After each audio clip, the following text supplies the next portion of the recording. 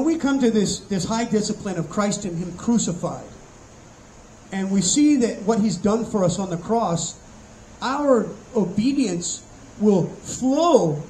If the gospel is presented correctly, our obedience and love for God will, will flow out of knowledge of this gospel. And, and we will desire to please Him in the strength of His might because of His love for us and what He's done for us. People who hold low views of God, they destroy the gospel for all who hold them. Low conceptions of deity destroy the gospel for all who hold them. That's why I want to tell you about who God is, what He's like. So He's inscrutable, He's ineffable, He's incomprehensible, He's unfathomable, He's, uh, he's uh, faithful, He's loving, He's merciful, He's just. He's the, the, the just, righteous judge of the earth. He, he, he and He's holy. Um, he's gracious. What is grace? Grace is me getting what I don't deserve. Uh, mercy is me not getting what I do deserve. God is merciful, but He can be moved to wrath. Can you imagine the, the wrath that I would be deserving of were I to spurn the cross of Christ and the, that redemption that He offers me? It cost God quite a bit to, to, to, we will never know probably what it cost God to redeem us.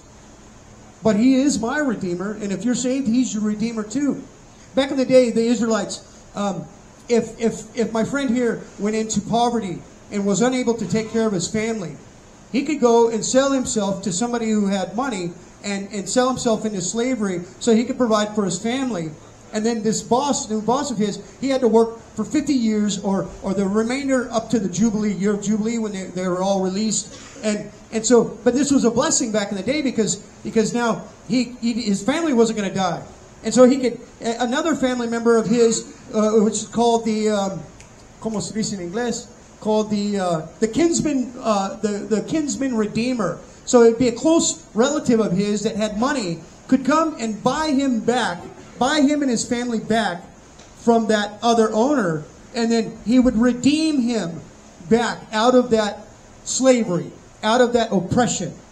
And so Christ comes and he redeems us from the curse of the law. He redeems us out of the kingdom of darkness, in, conveys us into the kingdom of the love of his son. And that's why he's our Redeemer. That's why on the cross he said, It is finished. He paid the price, the full price. He, he, he, he drank in the full wrath of God that we deserved in our behalf as, our, as, our, as a substitutionary death. He took what we deserve and gives us what we don't deserve His righteousness. He imputes that into our account. And so, it, can you imagine the wrath that I would be deserving should I spurn the blood of Christ? Should I spurn the blood of Christ and, and just and treat it as a as a as a profane thing? I would be worth I would be due some heavy wrath. Some serious wrath, and I justly deserve it. God is just. He he he he says that right here. He says that um, he says that let me see. He says, I, the Lord, search the heart, I test the mind, even to give every man according to his ways, according to the fruit of his doings. Scripture says that God will not be mocked. You will reap what you sow. If you sow to the Spirit, you reap life. If you sow to the flesh, you reap corruption. God is just. He's we're, nobody's going to escape it. We might want to entertain ourselves and, and go into this escapism and make a bunch of imitation or imaginary friends around us and, and just get lost into into uh, uh, nothingness and, and, and just deceive ourselves of being ostrich, sticking our head in the sand, not willing to face reality. But that, that's called escapism, and it's an ism. I look around where I'm standing and I ask the Lord, I'm like, what is going on here? I don't understand it. I've never seen that type of behavior before. But that's an extreme, that's an extreme uh, example of, of that type of behavior, that escapism, that, that just unwillingness to face reality. Probably due to trauma and pain in the life. I get it, I understand. Um, but but all of, uh, all of us, we tend to do that in, in, a, in, a, in a type of way. Uh, we all tend to, rather than face reality, the truth, because man, a fallen man, hates the truth because it exposes the lie that he believes about himself and reality and the lie about God that he believes. That's why man doesn't read the Bible. Man hates the Bible because it, it's a mirror. It's, it's the truth of God's Word. And that's why people don't read it. They won't read it because they hate the truth because it exposes the lie that the lies that they believe. You know, man hates God. Fallen man hates God. Why? Because he, he innately he hates God. He wants to be God.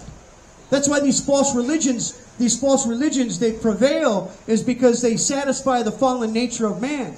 They want to make God a debtor to themselves. Somehow tip the balances, uh, the cosmic balances of, oh well, I'm, I'm doing, I've done a lot better good than I did bad. Well, that's that's to our that's your opinion that you did better, more good than bad. What's God's opinion? That's what matters. It only took one sin for God to kick Adam and Eve out of the garden. One sin. So how in the world could I ever think that I'm able to tip the balances back into my favor by doing good works? It's impossible. It's ludicrous. It's, it's not in touch with reality. We will never be able to earn our way into heaven. Never. Never. It's impossible. And a lot of people, they, they, they, they, when you look at the moralist, right? The moralist says, well, I'm sure a lot better than that tax collector over there because I'm a pretty good guy. Am I? God says He tests the minds and hearts of man. If you were to put some of your guys' thoughts up on a TV screen here, right? If you were to do that, what, what, what would you want to stick around in the room? Probably not, right? So God tests the minds. Hey, buddy. Um, God tests the minds. Is that that's a, that's that should be a, a great thought if we're, if we're bringing every thought into captivity to obedience of Christ. Think about that. God reads every thought we He's very interested in us. He abides in eternity. So he can sit there and spend your whole life with you. And he does it to every human being on the planet. Everyone that's ever even been on the planet. He spends their entire life with them watching. He's omniscient. He knows everything instantly without any effort. God doesn't look down the corridors of time to see who would who would accept him as Lord and then save them. No, God knows everything instantly without effort. He knows all of our thoughts. He knows our words before they even come out of our mouth. And and this is important to know. This is my friend that I can I tell him about when we were locked up, buddy? So this is my friend. We were in jail together. Great big guy, 300 and some pounds. When he came in, I was scared to death of him. I was like, oh no, right? And I, I, well, no, but I'm, I'm telling him about how how when when I had you read the newspaper and then I had you read the Bible, and then some of the things. Well, I was fasting and praying for him one day, and and and I and I don't say that for anybody think that I'm something because I don't seek human approval. Those who seek human approval cannot believe in God according to Scripture. It says, if you, if you, uh, how is it that you can believe? Jesus told the Pharisees, how is it that you can believe if you seek glory that comes from man and not the glory that comes from God? A.W. Tozer says, so if I understand this text correctly, if I seek human approval, I don't believe in God. So having the approval of the Lord I don't care about human approval. That's why I'll sit up here and tell you about hell and sin and things you don't want to hear because I'm not here to please you. I'm not here to be your friend. I'm here to tell you the truth. So, my friend here, uh, all of a sudden I was fasting and crying out to God for him, and a love came over me so violent, so intense that that I, I, I had to say, Father, please stop. It was so violent. It was uh, it was just the only way I could describe it because there are no words to describe His love for us is. Oh, God, I love this guy. And I was scared to death of him. I didn't want him in my cell. He was 300 pounds, six, seven. You know, I was like, oh, Lord.